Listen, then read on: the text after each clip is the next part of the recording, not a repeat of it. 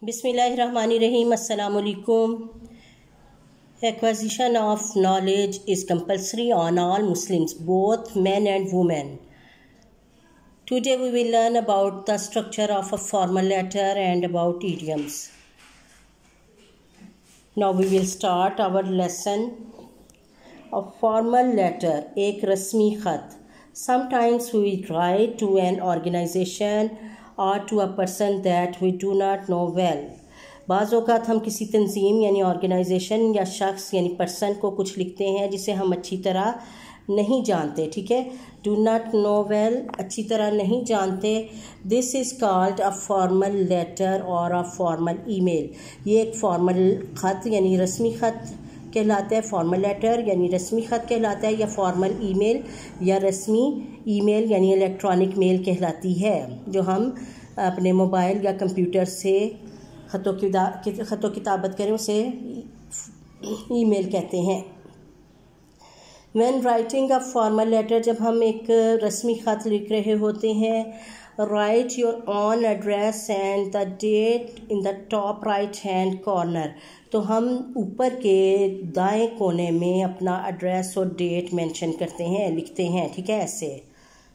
ये एड्रेस और ये date the name and address of of the person और organization that you are writing to goes on the left hand side और जिसे हम ख़त लिख रहे थे, उसका नाम और एड्रेस जो है वो लेफ़्ट कॉर्नर पे, जहाँ पे पहले हमने राइट पे लिखा होता है, अपने, अपना एड्रेस और डेट डेट से निचली लाइन पे लेफ़्ट की तरफ़।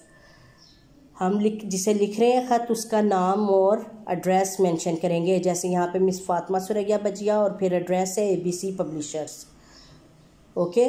फिर यहाँ पे जो है उनको मुखातिब करना है। यहाँ पे जो हमारा होगी सारा जो हमने लिखना है, हमारा मकसद वो बयान करना है। फिर उसके बाद लेफ़्ट, जो है नीचे वाला कॉर्नर, वहाँ पे हम अपना नाम वगैरह मेंशन करेंगे। Just like this. Okay?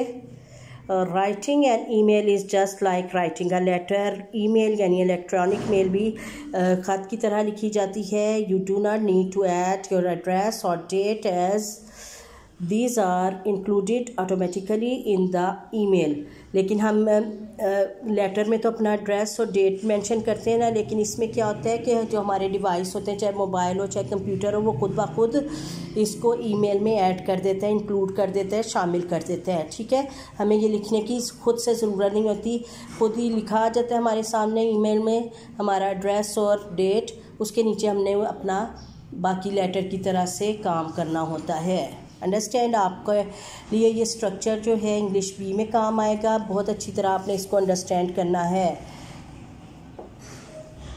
Word study of unit number three आज हम इसका ए पार्ट करेंगे। Comprehension idioms are interesting descriptions idioms जो हैं वो दिलचस्प बयान होते हैं, ठीक है? लेकिन मैं आपको समझाती हूँ कि ईडियम्स क्या होते हैं। An idiom is a phrase और an expression whose meanings cannot be understood from the meanings of the words that make it up.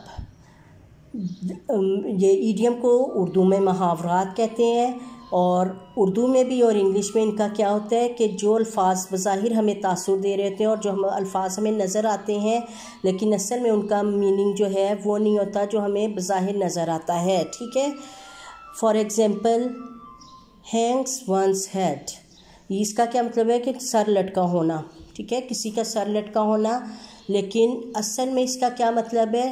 Be ashamed शर्मिंदा होना। जब हम किसी से शर्मिंदा होते हैं तो हमारा सर खुद ब खुद थोड़ा सा झुक जाता है ना? तो इसका ये मतलब है हैंग्स वंस है शर्मिंदा होना, ठीक है? बी अशेम्ड लेकिन बज़ाहिर हमें क्या लगता है? जैसे सर लटका होना, ठीक है? लेकिन असल में इसका क्या मतलब है कि शर्मिंदा होना बी अशेम्ड इसी तरह से बच्चों, यहाँ पे ईडियम्स हैं और उनके मीनिंग्स हैं। हमने क्या करना है? Match the idioms to its meanings हमने ईडियम को उसके मतलब से जोड़ना है, ठीक है? Match the idiom to its meaning idiom को उसके मीनिंग से जोड़ना है मैच करना है। शो योर ट्रू कलर्स अपने सही रंग दिखाओ, ठीक है? अब ये तो नहीं ना इसका मतलब हो सकता, बल्कि इसका मतलब क्या है? ये देखो, उन्होंने लाइन लगा के इसे मैच किया है show what are you really like यानी तुम असल में कैसे दिखाई देते हो? इसका मतलब ये है, ठीक है? यानी असल किरदार क्या होना किसी का?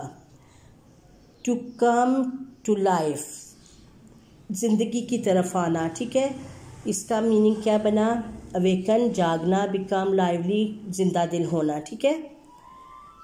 लाइक लाइटनिंग बिजली की तरह लाइटनिंग आपको पता है ना ये जो बिजली चमकती है आसमान पे किस कदर तेज़ी से तेज़ चमक होती है उसकी ते, तेज़ी से चमकती है। इस ये, ये किससे मैच होगा? हमने इससे ये तो समझ आ गई ना कि बिजली तेज़ होती है। तो हम इसी से समझ जाएँगे कि इसका क्या मतलब होगा? वेरी क्विकली बहुत तेज़ी से। यानी किसी चीज़ का बहुत तेज़ी से होना क्या है? लाइक लाइटनिंग बिजली की तरह। Turn over a new leaf नए पत्ते में बदलना, ठीक है? लेकिन ये इंसान तो नहीं ना पत्ते में बदला जा सकता। तो इसका क्या मतलब हुआ? कि change your way of life अपनी ज़िंदगी का रास्ता या अंदाज बदलना, ठीक है? वे अंदाज लाइफ ज़िंदगी चेंज तब्दील करना। ज़िंदगी के अंदाज को तब्दील करना क्या कहलाता है? Turn over a new leaf understand कि यानी मीनिंग कुछ होते हैं, लेकिन असल में उनका जो है बहुत अच्छा सा मतलब होता है, बा, इसे कहते हैं ईडियम और उर्दू में मुहावरात। आपने इसको समझना है और ये वाला क्वेश्चन आपने अपनी बुक्स पे करना है। ओके अल्लाह हाफिज़।